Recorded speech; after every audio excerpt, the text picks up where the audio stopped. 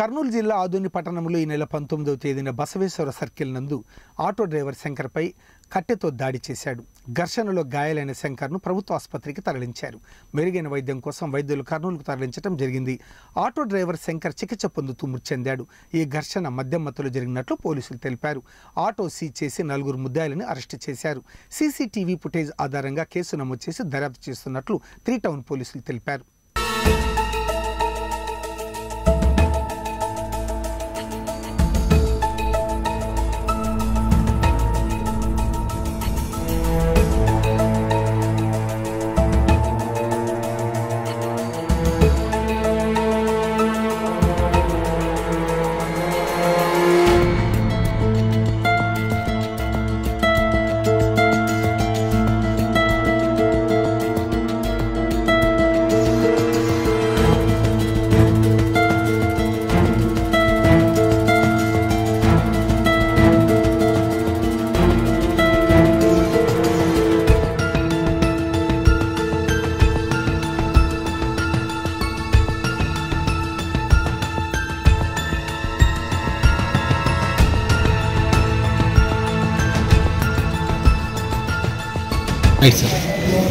పంతొమ్మిది ఆరు రెండు వేల ఇరవై మూడవ తేదీ సాయంత్రం నాలుగు నాలుగు పదహైదు గంటల మధ్య కాలంలో ఎమిగనూరు బైపాస్లో బాట మారమ్మ గుడి దగ్గర జరిగిన శంకర్ హత్య కేసులో నలుగురు ముద్దాయిలను ఈరోజు మధ్యాహ్నం పన్నెండు గంటలకు హాస్పిటల్ రోడ్లో హెచ్పి పెట్రోల్ బంక్ దగ్గర అరెస్ట్ చేయడం జరిగింది. అందులో ఏ వన్ వచ్చి Ramalingadu A two Jayaram Reddy A three Jagannath Reddy A four Ramakrishna. వీళ్ళు నలుగురు కూడా పంతొమ్మిది తారీఖు ఉదయం శంకర్తో కలిసి ఎముగనూరు బైపాస్లో ఖాళీ ప్రదేశంలో మందు తాగి ఈ శంకర్ను మాదేనా కొడుకు నువ్వు మాతో పాటు మందు అవుతావా అని చెప్పి మాట మాట పెరిగింది అదే మనసులో పెట్టుకొని ఆటోలో ఆదోని వైపు వచ్చినప్పుడు మారమ్మగుడి దగ్గర ఆటో ఆపి ఆల్రెడీ రామలింగుడు తన కట్టెతో మారమ్మగుడి దగ్గర ఉన్నాడు. ముందే దిగి శంకర్ మారమ్మగుడి దగ్గర వస్తేనే ఒక్కసారిగా దాడి చేసి శంకర్ను అక్కడ కొట్టడం జరిగింది.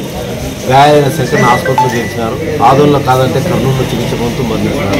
దీనికి ప్రధాన కారణం శంకర్ను ఎస్సీ అయినప్పటికీ వాళ్ళతో కలిసి తాగుతున్నారని అది మనసులో పెట్టుకొని ఈ మర్డర్ చేయడం జరిగింది.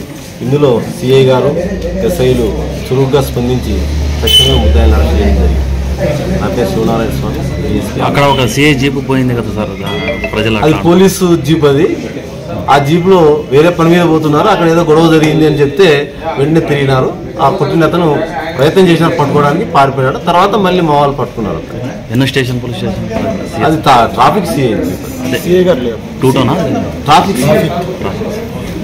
పథకం ప్రకారంగా హత్య చేసినారని చెప్పి అంటున్నారు పథకం అంటే దాంట్లో అప్పటికప్పుడు జరిగి తాగిన మధ్యంలో మైకంలో జరిగింది? కానీ దీంట్లో పథకం అనేది అంటే ఏం లేదు.